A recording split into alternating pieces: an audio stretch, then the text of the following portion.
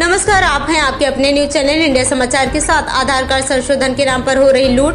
खागा तहसील के अंतर्गत किशनपुर थाने की विजयपुर चौकी से मात्र थोड़ी दूर पर गोंद्रा मोड़ पर एक कंप्यूटर सेंटर है, जहाँ आधार संशोधन का कार्य होता है, जहाँ पर पचास रूपए लेने का शासन का आदेश है। लेकिन सीएससी संचालक खुलेआम पब्लिक से सौ रूपए लेते हैं और दिन भर न जाने कितने लोग आते हैं और उन सब वो सभी सौ रुपए देकर जाते हैं। विचार करें कि कई महीने से लोगों से अवैध पैसे लेकर जाने कितने लोगों को वह लूट चुका है। यह सब वीडियो देखकर आप सभी समझ सकते हैं कि आगे क्या करना है। हमारे खागा एसडीएम महोदय अपने संज्ञान में लेकर सांख्यिकी अधिकारी को क्या निर्देश देते हैं, यह सब आगे आने वाला समय ही बताएगा। ये थी हमारे संवाददाता इंडिया समाचार के लिए अनिल कुमार की खास रिपोर्ट। फतेहपुर से।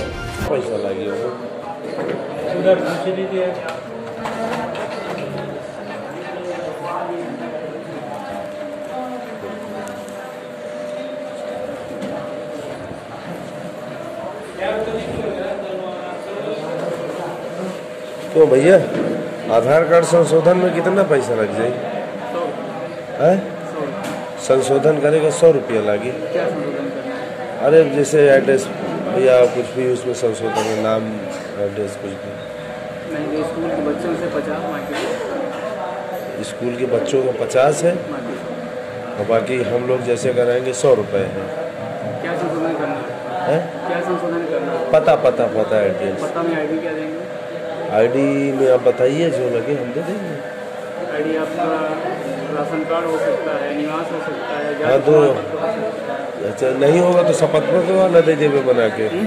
शपथ पत्र भी दे सकते हैं आपको। शपथ पत्र क्या आईडी तो आपके लिए बहुत सारी हो सकती है ना? हाँ तो ठीक है राशन कार्ड दे देंगे मतलब अगर राशन कार्ड मान लीजिए नहीं भी है राशन कार्ड है राशन कार्ड है। तो उसी को दे दीजिए। तो राशन कार्ड मान्य है? हाँ ऑनलाइन वाला चलेगा। ऑनलाइन चलेगा। राशन कार्ड एड्रेस प्रूफ में मान्य है? हाँ चलेगा लेकिन ऑनलाइन होना चाहिए। ग्राम वो ऑफलाइन हाँ पहले से हाथ वाला नहीं चाहिए। ऑनलाइन भी अब चल रहे हैं राशन जिसमें से राशन मिल रहा है। मतलब होगा संशोधन का सौ रुपया बच्चन का पचास रुपया।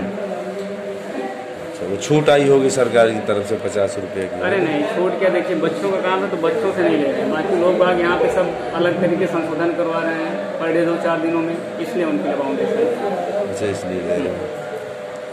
मोबाइल नंबर बता दीजिए। पंचानवे पैंसठ।